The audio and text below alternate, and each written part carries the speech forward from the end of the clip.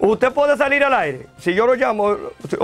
Bueno, coronel, buenos días y bienvenido a nuestro programa. Eh, estamos con el coronel Freddy Díaz, que no. Gallo.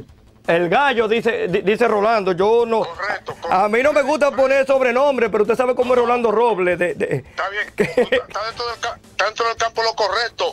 A mí me dicen el gallo desde los tres años de edad. Ah, no, pero, eh, y, y, y a Rolando un jabalí, ya usted sabe, aquí en la estatal. Coronel, la pregunta mía es la siguiente y la inquietud que quiero, porque ten- tengo entendido de que eh, el mayor Cáceres, mayor general Cáceres, es, un, a- a- eh, es una persona que está activa en las filas de la milicia dominicana y tenía entendido que él tenía que ser llevado primeramente al Ministerio de Defensa. ¿Estoy en lo correcto o el Ministerio Público actuó bien? No, eh, eh, yo le voy a aclarar correctamente todo. Sí. La noticia no está clara para el público. Hay cosas subliminares dentro del caso. Ni Miriam Germán, ni mucho menos los dos ayudantes de ella, pueden convocar a un general activo de las Fuerzas Armadas Dominicanas y dejarlo arrestado en la Procuraduría. Para proceder eso, el jefe de la institución, sea Fuerza Aérea, Ejército Marina, mínimo debe él llamarlo a, a- a- a su, a su departamento y ahí mismo destituir Este, al jefe de la Fuerza Armada, pero con la anuencia del presidente de la República. Es lo que digo. Con la, oye, no, no es lo que dice, no, eso es lo que dice el reglamento y lo dice todo. Voy yo me sé El reglamento. jefe inmediato, el jefe inmediato de la Fuerza Armada es el presidente. Y para destituir un oficial de, segundo teniente para arriba, tiene que ser un decreto del presidente. Porque ya es un oficial, ya es un oficial. Correcto, correcto. Y lo otro que te voy a adelantar, de eso que se está hablando, que escribió Martínez Pozo, yo te voy a agregar más. Dígame. En los 31 años del jefe, solamente hubo un general que acumuló tres centavos, o dos, y eran hermanos de él. Pero fueron tres centavos. Héctor Bienvenido Trujillo y, y Petán. Pero tres centavos. Después de la muerte del jefe, todos los oficiales que llegaron de coronel para arriba adquirieron altas fortunas. Todos, todos. Eso es un, de- es un destape peligroso, lo que está diciendo Rolando Robles. Exacto. Porque todos, todos tienen el mismo mea culpa. Todos, Sí, sí. todos tienen el mismo mea culpa. Si lo van a acusar por enriquecimiento ilícito, tienen que buscarlo a todos. Bueno, pero si nos vamos a Casa de Campo y a Punta Cana, el 70% de las villas son de militares. Pero mijo, te acabo de decir, te tengo que decir mijo, porque tú eres, me- yo soy más viejo que tú, así Sí, con sí, 10 sí. años. Sí, sí. Pero yo lo que te voy a decir, Ney Rafael ni Balseja una vez se acusó que le quería comprar eh, eh, uno de los ingenios Lovicini. Ujú. O- oye, a Ney, Pérez y Pérez murió con dinero.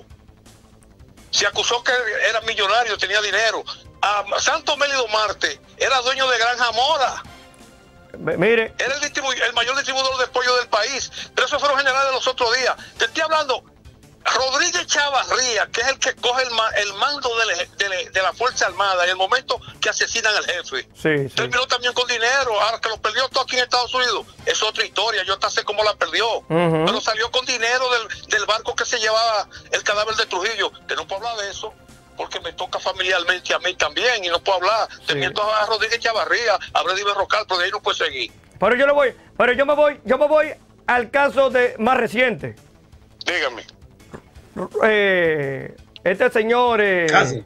no, Cáceres. no, el, el, el, el, el, el ex ministro, eh, eh, yo le digo Rubén, Paulino pero Sen. eh, Paulino Sen. Paulino Sen es dueño de Pauligas, Ah, pero ven acá. la proveedora de gas más grande que tiene, que, que, que tiene, que tiene República Dominicana ahora mismo. Eso es lo que dice el gallo. Eso es lo que mojado. dice el gallo. Mira, eso, va, eso es un destape que los generales que ya están bajo la tierra porque murieron por enfermedad hace más de 15 y 20 años y Ujú. 30 años, Ujú. le hacer un juicio también, Exacto. post muerte, Sí. porque se requisieron ilícitamente.